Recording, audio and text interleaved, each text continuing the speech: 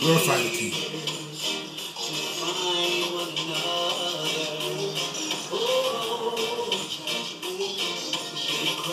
To my brothers in prison, keep your head up.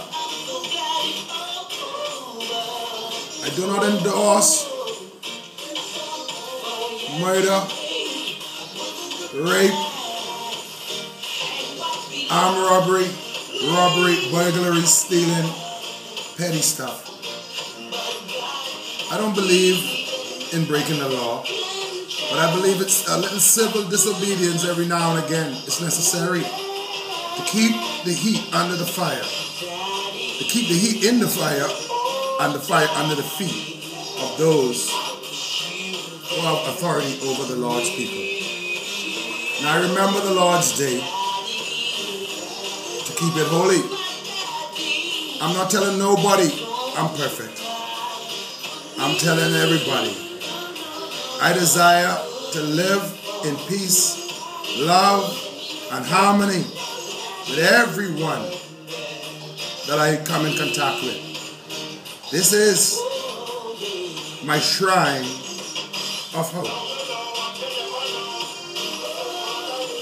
Now I know what I never did know. I am a royal seed. I'm not afraid, ashamed or afraid to declare it. The politicians,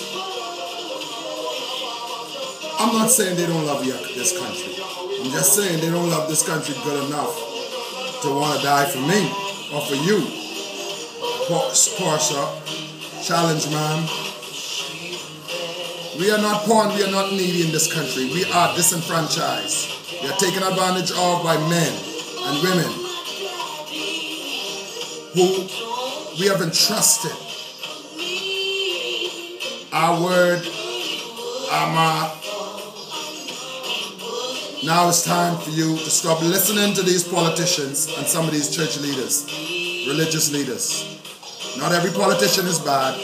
Not every religious, religious leader is bad. But I say this without fear and contradiction. When one prime minister can make every post, major post in this country as relates to the Chief Justice, Chief Magistrate, President of the Court of Appeal, and all of these major posts, Attorney General, if I have a problem with the government, who do I go to? Who do the people go to? And with the grace of God, we go to the Yeshua. Amen.